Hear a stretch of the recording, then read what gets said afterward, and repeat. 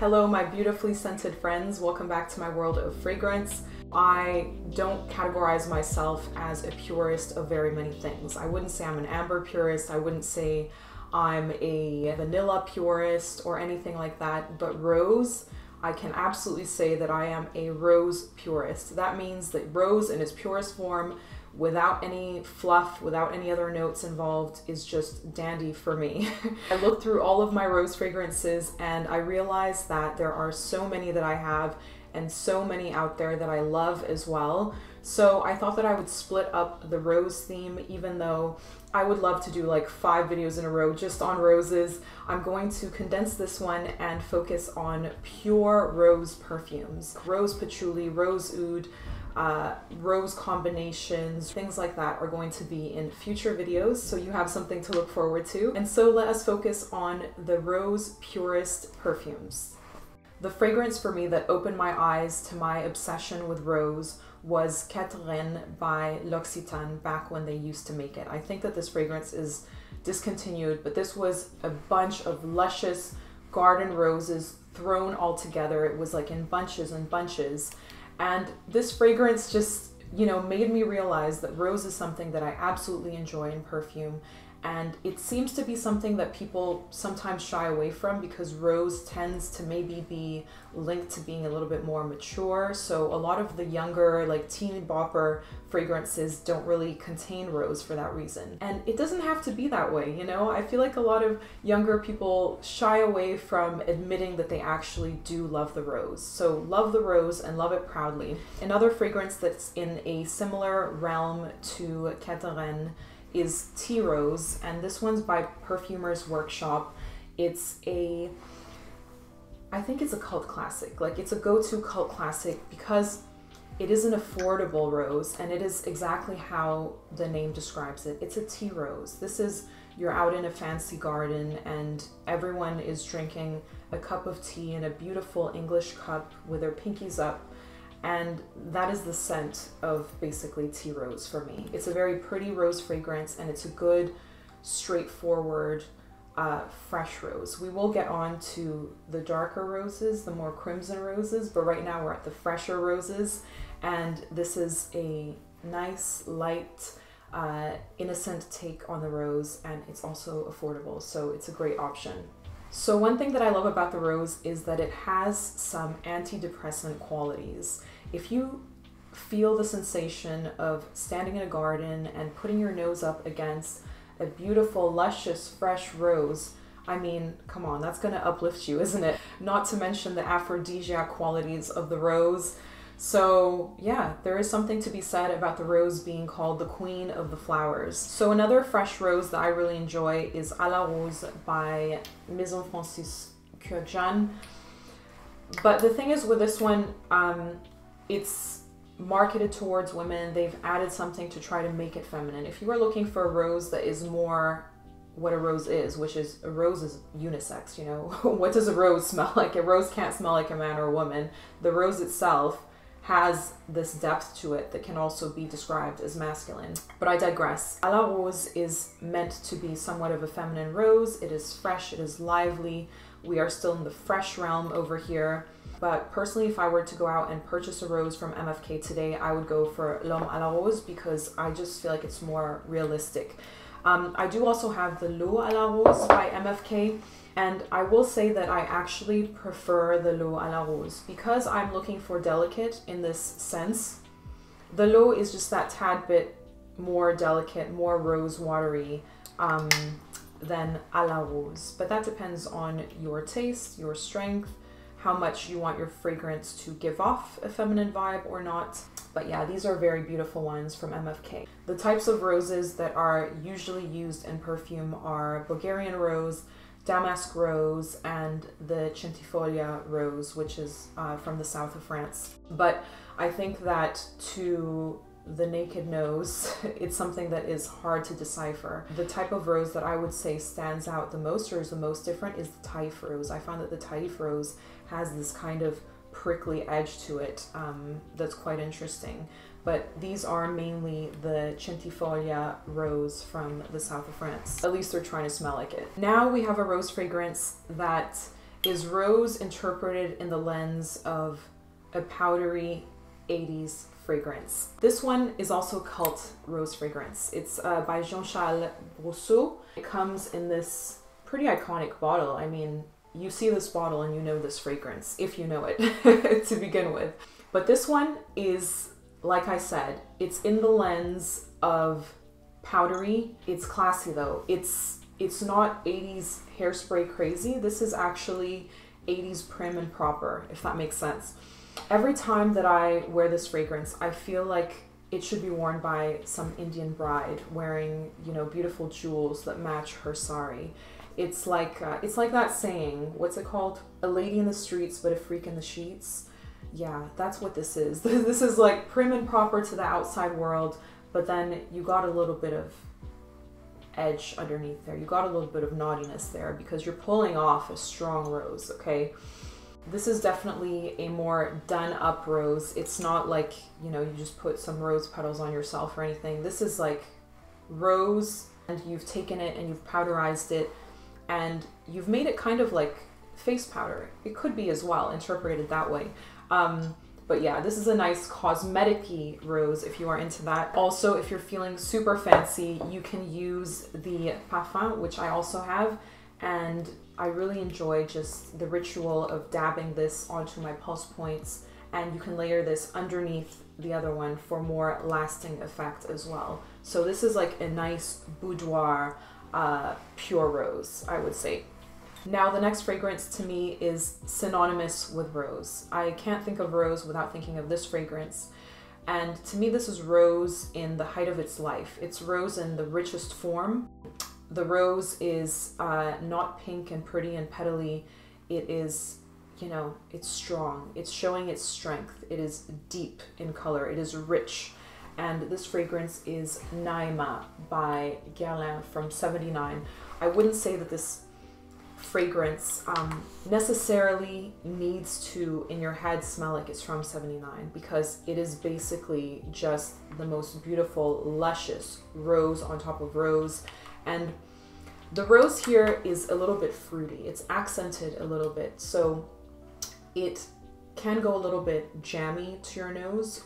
For me I have a whole visualization in my head when I smell this fragrance. So I just picture the most gorgeous, like the largest rose of the bunch is Nahema, even though tons and tons of roses were put into uh, creating this, just to create one drop of rose oil takes hundreds of roses, right? Assuming that this would be with real rose oil. Of course, rose oil is very expensive. So, um, but Nahema smells like the real deal. It really does smells fabulous. Um, if you are looking for a rose oil that is deep and crimson, then definitely try out Nahema. Nahema is composed around the Bulgarian rose, and the Bulgarian rose is probably because it is the most widespread type of rose that you smell in perfumery. It's it's that go-to rose. You know, when you think of how rose smells, it is most likely the Bulgarian rose that your nose is accustomed to. So it's just a beautiful unveiling of that straightforward rose. And ooh, this smells like a queen. Smells like a queen. Another wonderful interpretation of the rose is Sa Majesté la Rose by Serge Lutens. And this one is a marvelous rendition of a realistic rose. Although the rose here is the Moroccan rose, it has that Lutens esque Moroccan vibe of being in a dry surrounding. Um, and the rose here is accented with a little hint of honey. So this one is another very realistic rose. I would say that Sa Majesté la Rose is even more uh, neutral in terms of it doesn't come across with any type of gender. And it's yeah, it's a marvelous, marvelous rose. The first time that I smelled this one, and every time that I smell this one, I'm just like, poetry. So now we have a rose around the Rosa centifolia, which is um, the one from the south of France. And it is called Rose de Mai, so basically it's the same rose. Um, and this one is by Perris Monte Carlo. And I just adore this brand for realistic florals. All of their florals I find to be amazingly realistic. Their mimosa, their jasmine, their rose de mai. They also have a taif rose as well But I love the Rose de Mai because this one reminds me of the truest form of a rose spritz that you would use, like a, a spa like rose thing, a water basically with rose petals inside it, but more condensed in perfume form so that you know you can smell of this for longer than maybe five minutes.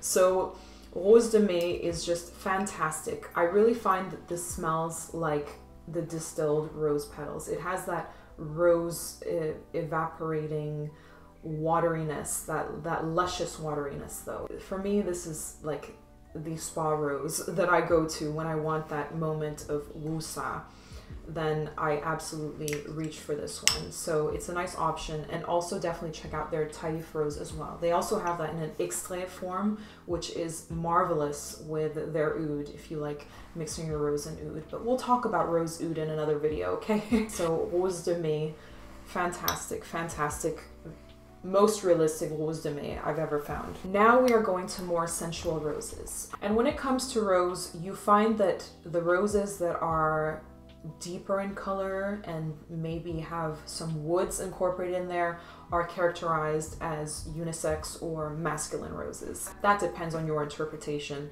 But uh, Rose Barbare is one of my later editions of roses. I think it's my latest rose edition by Guerlain. Wow, I have another Guerlain in here. I usually don't have that many Guerlains in my videos because I like to diversify the brands that I speak about. But Rose Barbare is an unusual rose because although this is a sweetened rose, it doesn't necessarily have to be a feminine rose. You know what I mean? It is uh, sweetened by honey, and there's also an edge of fenugreek in this fragrance that adds a little twist to it.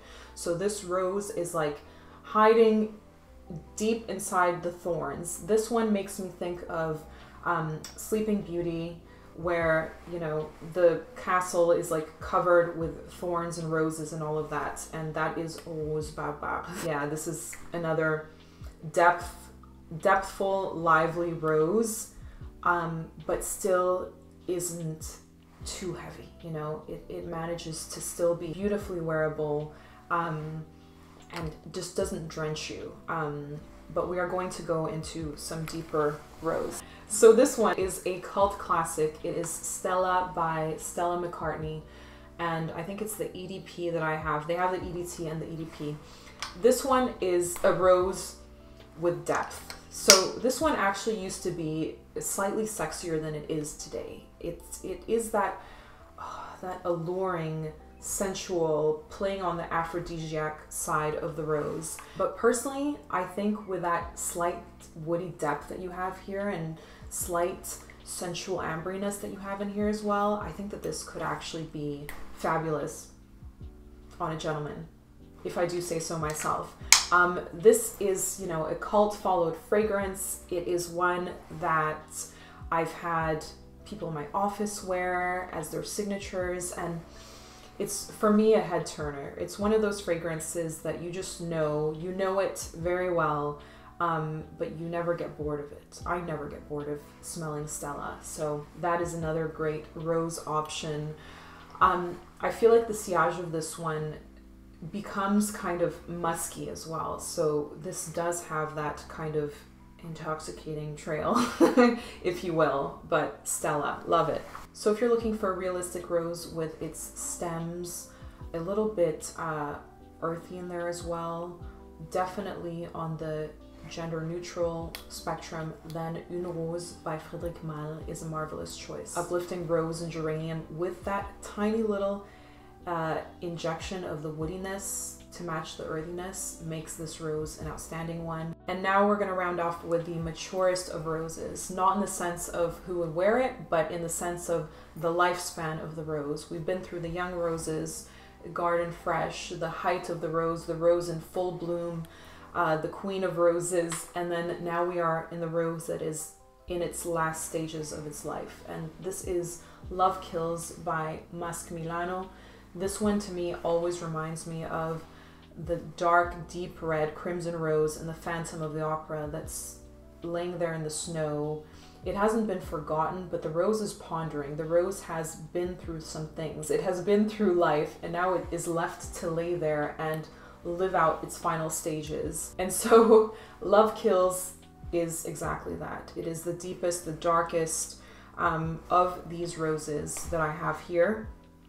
It has that sensuality of being that more mature, dark, dominant rose, and it, still manages to be hyper realistic as well, which is what I love about this. This is around the Turkish rose. I wouldn't say that when I smell rose perfumes, I can tell right away what type of rose it is or anything like that. But once you do hear it, you kind of go, ah, yeah, I can see how that could be their Turkish rose. It's the power of suggestion, I guess.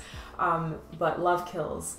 And like a good Masque Milano lasts a very long time as well. So yeah, there we are. We kind of have gone through the evolution of the roses and I hope that you enjoyed today's video. Please let me know what your favorite pure rose perfumes are out there. This video is just focused on the Rose Purist, the core of the rose and perfumery, which ah, I am obsessed with. and so I look forward to yeah, hearing all of your notes. Let's discuss in the comments and I will see you in my next video. Thank you for watching.